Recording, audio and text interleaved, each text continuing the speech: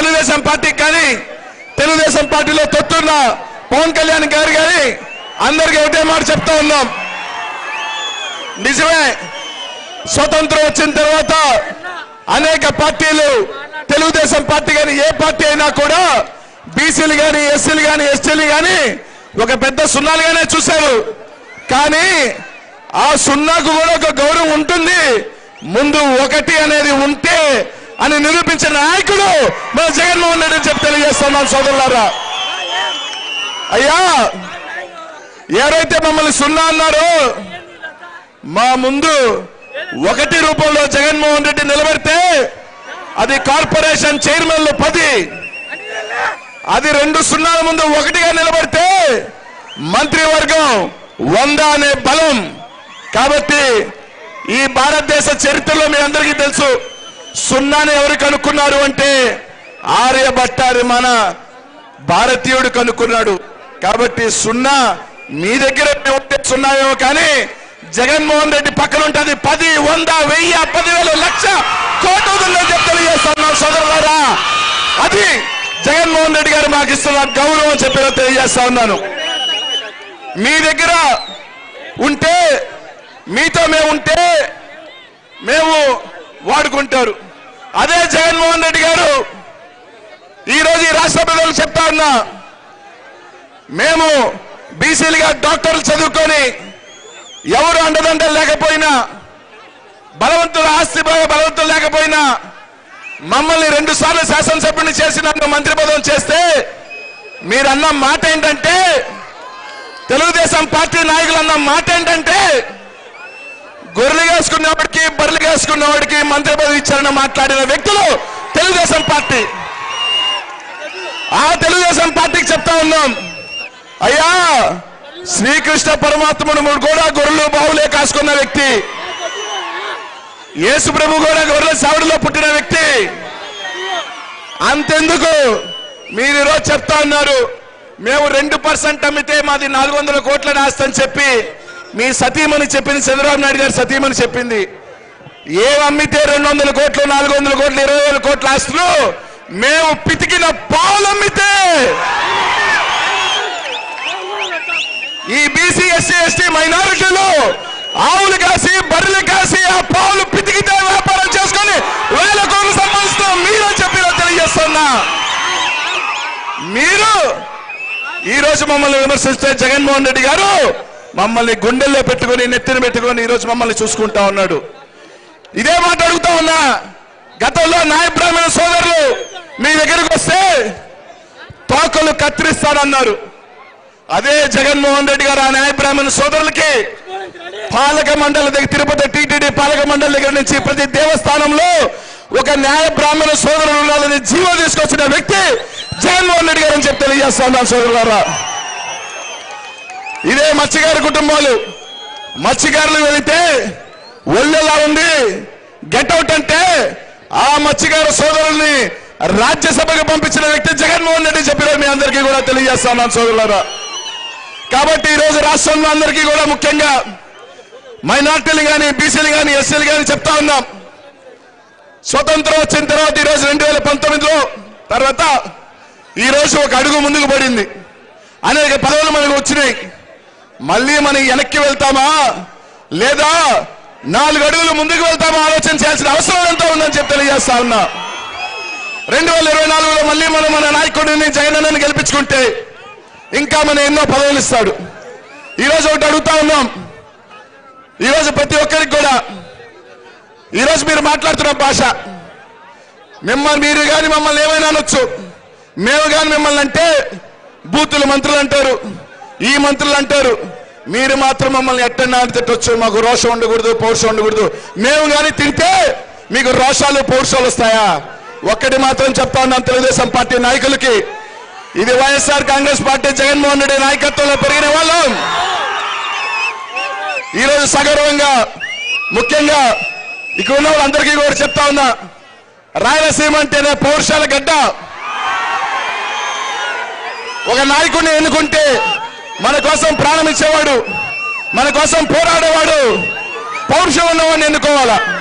అట్లాంటి నాయకుడు జగన్మోహన్ రెడ్డి గారు. ఈరోజు అబ్బాయిని తప్పు చేశాడని లోపలేస్తే కొరికాడికి పారిపోయారు అంటే ఢిల్లీకి పారిపోయిన వాడు మనకి అవసరమా అని అడుగుతా ఉన్నా. ఎక్కడ నన్నెట్టి లోపలేస్తారో అని చెప్పి పాదయాత్రని మధ్యలో వదిలేసి ప్రజల కోసం పా- పాదయాత్ర చేస్తున్నానని చెప్పి బొటక మాటలు నాటకాలు చెప్పి మాట్లాడిన ఆ పప్పు దెబ్బతో ఢిల్లీకి పారిపోయాడు. వాళ్ళ అవసరమా మనకి? లేకపోతే మన కోసం నిలబడి ఎన్ని మాటలైనా పడి ఈ రోజు నేరుగా పేదల కోసం ఈ రోజు జరుగుతున్న పోరాటం బలిసిన వాడికి బక్కవాడికి జరుగుతున్న పోరాటం. బక్కవాడి వైపు జగన్మోహన్ రెడ్డి అయితే బలిసిన వాడి పక్కన చంద్రబాబు నాయుడు దత్తపుత్రుడు ఉన్నాడని చెప్పి అందరికీ కూడా తెలియజేస్తా ఉన్నా. గత ఆలోచన చేయండి. ప్రతి ఒక్కరు కూడా మహిళా దగ్గర నుంచి ప్రతి ఒక్కరు కూడా ఆలోచన చేయండి. ఈ రోజు ఇంకొకటి అడుగుతా ఉన్నా ఆయన ఇంకొక ఆయన పార్టీ పెట్టాడు. అమ్మ ఎవరైనా పార్టీ పెడతాందా దేనికి పార్టీ పెడతాం నేను ముఖ్యమంత్రి కావాలని నేను అధికారంలోకి రావాలని పార్టీ పెడతాం. కానీ పవన్ కళ్యాణ్ తిరిగి పెట్టాడు పార్టీ చంద్రబాబు నాయుడు గారు అధికారంలోకి రావాలని పార్టీ పెట్టాడు. అట్లాంటి వ్యక్తి అవసరమో ఆలోచన చేయండి.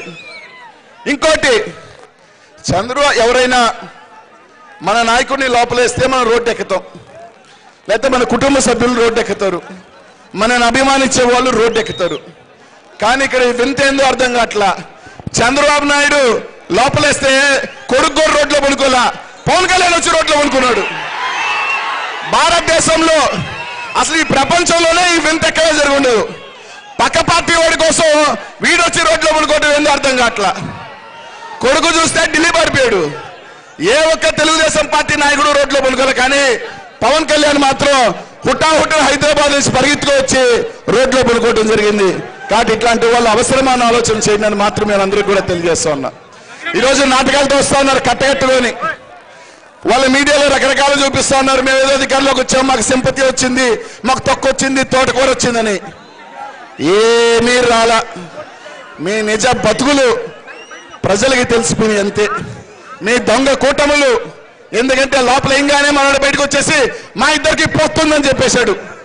కాబట్టి ఈరోజు రెండు వేల ఇరవై నాలుగులో ఈరోజు నూట యాభై ఒకటి కాదు. నూట డెబ్బై ఇది ఎందుకు రాకూడదని జగన్మోహన్ రెడ్డి గారు అడుగుతా ఉన్నారు.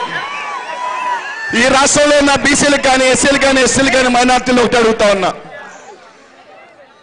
ఒక చిన్న సహాయం చేస్తే లేదు మనకు అందరు నిలబడితే ఎంత దూరమైనా వెళ్ళే వాళ్ళం మనం. ఎంత దూరమైనా వెళ్ళే వాళ్ళం వాళ్ళ కోసం మనం. ఈ రోజు జగన్మోహన్ ఎందుకంటే మీ అందరికీ కూడా చెప్తా ఉన్నాను సోదరులారా. మా జిల్లాలో కానీ పక్క జిల్లాలో కానీ మేము అక్కడికి వెళ్ళినప్పుడు అన్ని మీ పదవులేనా కదా కదా జగన్ అన్నీ అన్ని మీకే ఇస్తున్నాడు కదా అని అంటూ ఉంటారు. అని చెప్పినప్పుడు ఈరోజు ఎంత సాహసమైన నిర్ణయం జగన్మోహన్ రెడ్డి తీసుకొని ఈరోజు మనందరికీ కూడా పదవులు గౌరవాన్ని ఇస్తా ఉన్నాడు. కాబట్టి ఈరోజు ఒక నమ్మకంతో మీరు నా వెంట నడుస్తారు మీరు నా వెంట నేను చేసిన దీనికి నాతో ఉంటారు అనే దాంతో జగన్మోహన్ రెడ్డి గారు మిమ్మల్ని నమ్ముకొని బీసీ ఎస్సీ ఎస్టీ మైనార్టీలు నమ్మి ముందుకు వస్తున్న జగన్మోహన్ రెడ్డి గారిని రేపు రెండు వేల ఇరవై నాలుగులో ఈబీసీ ఎస్సీ ఎస్టీ మైనార్టీలు భుజ స్కంధాల మీద మోసే జగనన్నను ముఖ్యమంత్రి చేసుకుంటానని చెప్పి తెలియజేసుకుంటాను సోదరులారా. కాబట్టి రేపు ఎన్నికలు వచ్చేటప్పుడు రకరకాల హామీలు ఇస్తాడు. రకరకాల నాటకాలు చెప్తాడు. ఇప్పటికే చెప్తాడు మహిళలకి ఈ ఇస్తాను అవి ఇస్తానని రేపు చెప్తాడు కిలో బంగారం ఇస్తాను పెళ్ళికి కొత్తల్లుడికి ఒక బెంజ్ కారు ఇస్తాను. నన్ను గెలిపించండి అని చెప్తాడు. కాబట్టి నమ్మి మోసపోవద్దని. ఈరోజు ప్రతి ఒక్కరు కూడా ఆలోచన చేయమని. జగన్ అని ఎందుకంటే ఈ రాష్ట్రం ఇంకో కూడా చెప్పాలి మీకు. ఒక చిన్న సంఘటన జగనన్నకి నాకు జరిగిన చిన్న సంఘటన. నేను చదివిన కాలేజ్ చెన్నైలో అయితే వాళ్ళు ఆంధ్రాలో ఒక పెద్ద కాలేజ్ పెట్టారు. పెట్టినప్పుడు మన ముఖ్యమంత్రి గారు ఆ ప్రతి కాలేజీలో మన చదివే బిడ్డలకి కొంత శాతం బీసీఎస్సీ మైనార్టీలకి పేద బిడ్డలకి ఫ్రీగా ఉండాలి అని చెప్పి ఒక జీవో తీసుకొస్తే వాళ్ళు నా దగ్గరికి వచ్చి చెప్పారు. నేను చదివిన కాలేజ్ కాబట్టి ఒకసారి మీ ముఖ్యమంత్రి నేను మంత్రిగా ఉన్నా. మీరు ముఖ్యమంత్రిగా మీ ముఖ్య ముఖ్యమంత్రి గారు చెప్పండి.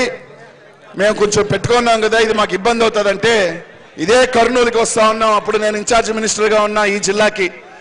ఇద్దరం ఫ్లైట్లో వస్తుంటే అన్న ఇట్లా నా దగ్గరికి వచ్చారు మా కాలేజ్ చదువుకున్న వాళ్ళు ఈ విధంగా అది తీసేయమని అడుగుతున్నారన్న ఏమన్నా అడిగితే ముఖ్యమంత్రి గారు ఒక మాట అన్నాడు. నువ్వు బీసీ మంత్రివి. నేను మన బిడ్డలు మంచి కాలేజీలో చదువుకొని పైకెళ్ళాలి అని ఒక పెద్ద కాలేజీలో ఒక ఫ్రీగా ఇస్తా ఉంటే నువ్వు ఇంకొక పది సీట్లు ఇవ్వమని చెప్పాల్సింది పోయి పది సీట్లు తీమని అడుగుతున్నావా అని అడిగాడు. తల ఎక్కడ పెట్టుకోవాలో అర్థం కాలే నాకు. అంటే మన బిడ్డల కోసం పేద బిడ్డల కోసం ఎంత దూరం ఆలోచన చేస్తాడు జగన్మోహన్ రెడ్డి గారు అని చెప్పి అర్థమైంది. కాబట్టి అట్లాంటి ముఖ్యమంత్రిని మనసున్న ముఖ్యమంత్రిని కాపాడుకోవాల్సిన బాధ్యత మన అందరి మీద ఉందని చెప్పి తెలియజేస్తా ఉన్నా. అధికారం కోసం అధికారం కోసం ఎన్ని అడ్డదారులైనా తొక్కే ఎదవలు ఈరోజు కలిసి వస్తా ఉన్నారు. ఈరోజు మీరు చూస్తా ఉన్నారు. నాలుగు నెలల ఎన్నికలు ఉన్నాయి. ఇక్కడేమో తెలుగుదేశం అంటాడు. అక్కడికి పోయి బీజేపీతో అంటగాడతాడు. నాలుగు నెలల్లో మళ్ళీ నాలుగు నెలల తర్వాత వచ్చి ఇక్కడ బీజేపీ తూచు ఇక్కడ నేను తెలుగుదేశం అని ఎందుకంటే ఇక్కడికి వచ్చే తలకే బీజేపీతో కలిస్తే మైనార్టీలు ఇంకొకరు ఓట్లేరేమోననే భయంతో అక్కడ మాత్రం బీజేపీ అంట ఇక్కడికి వచ్చి అంటే తెలుగుదేశం అంట. ఇక్కడ తెలుగుదేశం ఏం చేస్తారు? అక్కడ పోయి కాంగ్రెస్ అంట. ఇట్లాంటి దొంగ నాటకాలతో దొంగ కూటములతో వస్తారని చెప్పి అందరికి కూడా తెలియజేస్తా ఉన్నా. కాబట్టి రేపు రాబోయే ఎన్నికల్లో మీరు నొక్కబోయే బటన్ మీద ఫ్యాన్ గుర్తు మీద నొక్కబోయే బటన్ యాభై వేల పైసలతో నాణ్యని గెలిపించి జగనన్నకు ఒక కానుకగా ఇవ్వాలని చెప్పి తెలియజేస్తున్నా సోదరులారా. రాయలసీమ ప్రాంతం నుంచి రాయలసీమ ప్రాంతం నుంచి పౌరుషాల గడ్డ నుంచి జగన్మోహన్ రెడ్డికి ముఖ్యంగా కర్నూలు పోయినసారి పద్నాలుగు పద్నాలుగు ఇచ్చారు. ఈసారి పద్నాలుగు పద్నాలుగు ఇవ్వటమే కాకుండా మెజారిటీ అడ్డిపోవాలని చెప్పి తెలియజేస్తా ఉన్నా. కాబట్టి ఈ రోజు ఈ అవకాశం నాకు ఇచ్చిన పెద్దలందరికీ కూడా పేరు పేరు కూడా ధన్యవాదాలు తెలియజేసుకుంటా ఉన్నాను. ప్రతి ఒక్కరూ కూడా ఈ ప్రాంతంలో నాకు నాలుగు మాటలు మాట్లాడే అవకాశం ఇచ్చి ప్రతి ఒక్కరికి పేరు పేరు ధన్యవాదాలు తెలియజేసుకుంటూ ప్రతి ఒక్కరు కూడా సెలవు తీసుకుంటున్నాను. జై జగన్!